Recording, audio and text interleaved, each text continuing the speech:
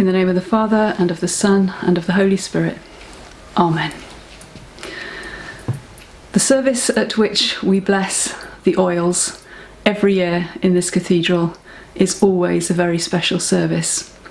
And despite the fact that the service this year is going to be so different, it is a very, very special service. A doubly special service, even though it is so pared down. Because this year it is a service that is a sign of faith and of hope. Why do I say that? It would be so easy for us as we look round the cathedral, being so aware of the people who aren't with us, because the only people who will be with us in the cathedral this year will be the cathedral chapter and the LMA deans. We won't have the people who would want to come. We won't have the mingling at the door afterwards, the chatting. We won't have the sharing of the food. We won't have the congregation who chose to be here. And it would be so easy simply to be aware of the people who can't be here. But actually, the very act of gathering together to bless and consecrate the oils is in itself a sign of faith and of hope. Why do I say that? Because although, as we have discovered during this time of COVID, there are many wonderful things we can do through Facebook and Zoom, and my thanks go to all those who've discovered the wonders of this technology, and especially to our own David, who is recording this as I stand here.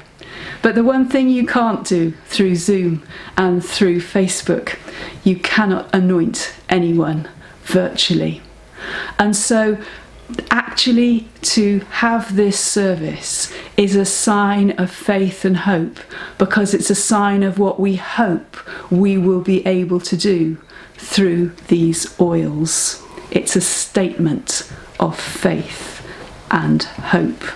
Prayer, of course, is always in itself a sign of faith and hope. So, why isn't prayer on its own enough? Well, of course, prayer is on its own enough. And Christians are used to prayer. We are used to praying. We are used to praying as a sign of faith. And we as Christians know that we don't always get the answer to prayer we're hopeful. We don't always get what we long for. We accept that God's ways are not our ways. It isn't like Father Christmas. We are used to persevering in prayer and crying in prayer and wrestling in prayer. So, why the oils? Because as Christians, we are committed to physicality, to the importance of stuff. And that is what the great festival of Easter is all about. As Christians, we rejoice in the death of Jesus, and that's a very strange thing. We know we are saved by the death of Jesus on the cross. But on Easter Sunday, we celebrate the resurrection of Jesus, the physical resurrection of Jesus. Now, we don't know exactly what that means. We were not there. And we have a multiple witnesses to what that resurrection was, and they are all slightly different. The resurrected Jesus cooked and ate fish. The resurrected Jesus appeared through locked doors. The resurrected Jesus walked with a couple of people on the road to Emmaus and passed as an ordinary, regular human being. And yet, on the road to Damascus, the resurrected human Jesus could only be seen by the Apostle Paul. And it's not a question of, well, some of them got it right and some of them got it wrong. And if we argue and think about it hard enough, we will understand exactly what the resurrection means. No, of course not. The mere fact of the difference is the importance because the resurrection is not something we can get right. And so when the fathers of the church put it down in a statement in the creed, they said, and on the third day he rose again. And that enshrines our Christian commitment to physicality. And yes, therefore, prayer is enough. But these oils that will be blessed and consecrated in this service today say and enshrine our commitment to our physicality. And so they are a sign today of faith and hope that we will be able to return to a world in which we can pray closely with one another, in which we can lay hands on one another, in which the people for whom we pray can be anointed with these oils. The reading from St. James, in fact, the first bishop of the church, the brother of Jesus, says to us if we wish to pray for somebody who is sick, take oil and anoint them with prayer. And of course, in the early church, just like we baptize with water, which is still something we use for washing with normally, so oil in the early church was a normal part of healing and washing.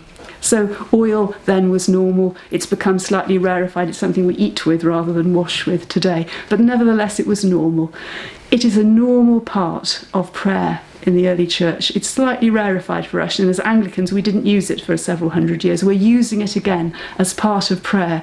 It's part of our physicality. It has been given back to us as prayer. We don't have to use it, but they are gifts to us. The oil of healing. The oil of the catechumens, that's a, a, funny word, it simply means people, either babies or children or adults, who are being prepared for baptism.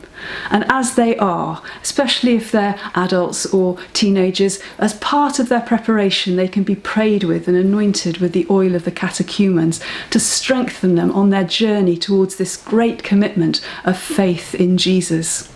And then in baptism itself, after they are baptized, they are anointed with oil as their as a, a sign of their acceptance and of their being filled with the Holy Spirit. So take these oils and use them when you are allowed to in your ministry for healing, for preparation for baptism, and for anointing a baptized Christian at any time in their life when they feel they need the extra strengthening of the Holy Spirit, but particularly in the baptism service. But particularly remember at this time, at this time of COVID, not only are our prayers a sign of faith and hope, this service, when we bless these oils that we cannot yet use, is a sign of our faith and our hope of a time to come when we can use these oils in our prayers. Amen.